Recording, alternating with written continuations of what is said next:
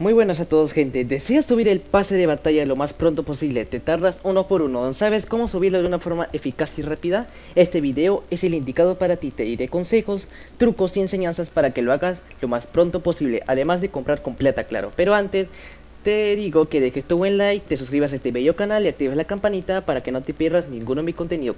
Créeme que estarás ayudando mucho a esta comunidad y no te vas a arrepentir. Y sin nada más que decir ni tanto relleno, comencemos viajando a otra galaxia y estas cochinadas de mierda. Sin ofender. El primer consejo más eficaz de todos es el modo de juego. Hay demasiados modos de juegos online. Ojo, el pase de batalla no se pasa en partidas personalizadas, se pasa en modos online. Eso es al azar. Y el más recomendado para pasar esto, lo más efectivo, es el Free For All o el Todos contra Todos. ¿Por qué? No hay límite de vidas, todo es ilimitado a menos a que se acabe el tiempo. Puedes hacer lo que quieras, hay cuatro jugadores, los mapas son demasiado grandes y puedes adaptarte a ellos para que te ayuden. ¿Cómo? Aquí viene el siguiente consejo.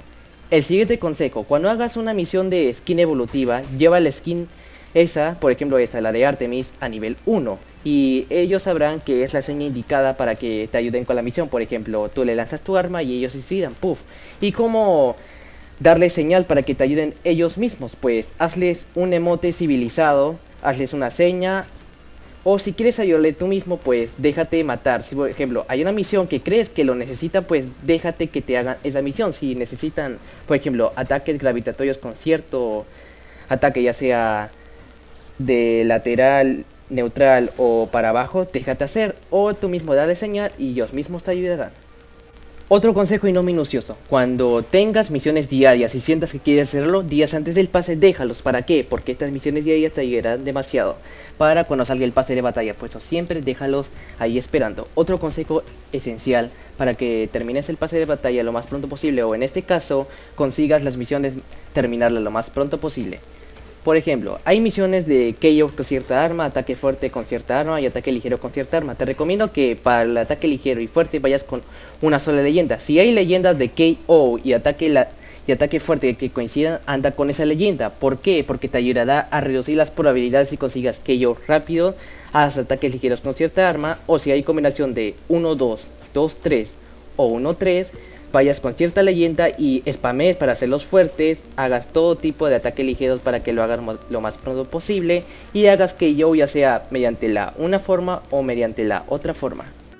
¿Y qué pasa si quieres hacer todo en uno? Por ejemplo, haces dos de estas, ya sea, supongamos ataque lateral con cierta arma y ataque lateral con cierta arma, por ejemplo, guanteletes y hacha, iría con Rayman, ¿no? ¿Y qué pasa si hay una misión más donde diga gana leyendas donde involucre el lore a Rayman? Pues ya tendría un 3 en 1. Y más aún si me dijeran haz ataque lateral cancelando la gravedad o deslizándote, eso sería un 4 en 1. Por eso tienes que ver qué forma puedes escoger una leyenda, la combinación de armas esencial para terminar el pase lo más pronto posible o en este caso terminar las misiones lo más rápido y dejar para la otra semana. Otro consejo esencial. Si terminas las misiones del pase, supongamos, viene una fácil, una semana fácil lo termina en uno o dos días por obras del Espíritu Santo, pues te recomiendo, si es que eres de aburrirse fácilmente, no hagas las misiones tan rápido, para que te entretengas y sientas la tensión del momento. ¿A qué me refiero esto básicamente?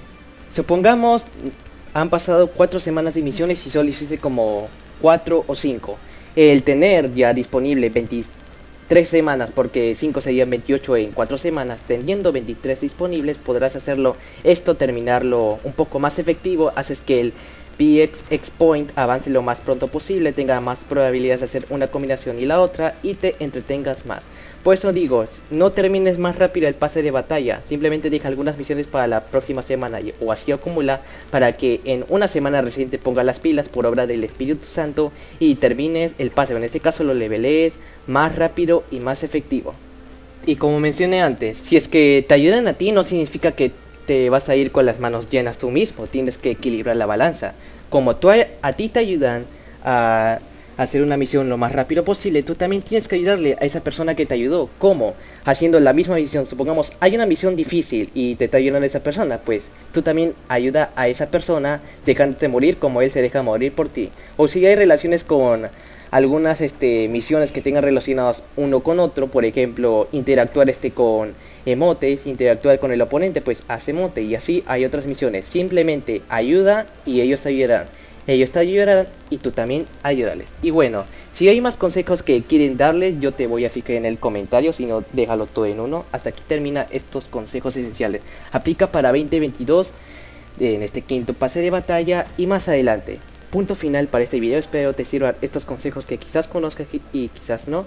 Dale like y suscríbete para más contenido, yo soy MySonexe y sin nada más que decir, dejamos aquí por hoy esto y y sayonara.